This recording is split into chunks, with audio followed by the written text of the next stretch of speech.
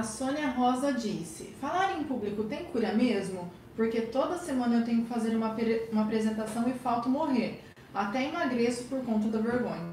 Olha só, Sônia, dá até uma dieta boa, né? Emagreça falando em público. Ia bombar, menina do céu. Mas não, né? Porque gera um sofrimento danado, fica estressada, cai a imunidade. A sua apresentação, com certeza, não é uau, porque você não está sobre o domínio das suas emoções. A minha pergunta é: sim, tem cura.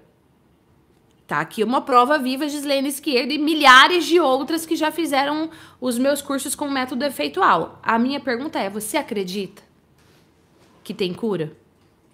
É mais ou menos assim, ó, se queres pode ser curado. Por quê? Porque aquilo que você acredita, o seu cérebro dá um comando. Eu vou te mostrar como é que isso acontece quando você tá dormindo, tá bom? Você tá dormindo e lá no seu sonho, que na verdade vai virar um pesadelo, você foi assaltada. E a pessoa veio a mão armada, meu Deus, seu coração acelera. E você acorda transpirando e você acorda mal. Ou você sonhou que alguém da sua família morreu e você acorda mal e não sei o quê. Foi só um sonho. Mas aquilo que o seu cérebro vê, ele acredita, todo o seu sistema responde como se fosse verdade.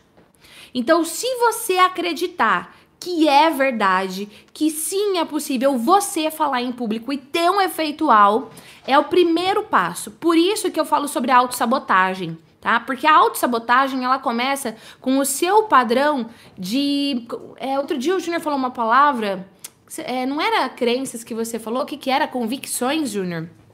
Convicções. É porque no, no inglês a gente fala é, que são as suas beliefs, as suas crenças. E aí em português vira crença, a palavra em si.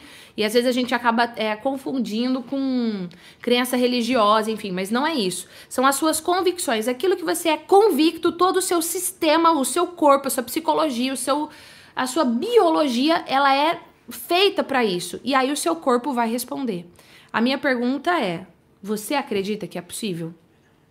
Eu acredito e tanto é que eu tô aqui gerando esse conteúdo para você. Então, o primeiro passo é uma decisão. Eu decido acreditar. Mesmo que hoje eu, eu acredite, mas eu decido acreditar. E aí a sua, sua decisão ela muda todo o rumo da sua vida.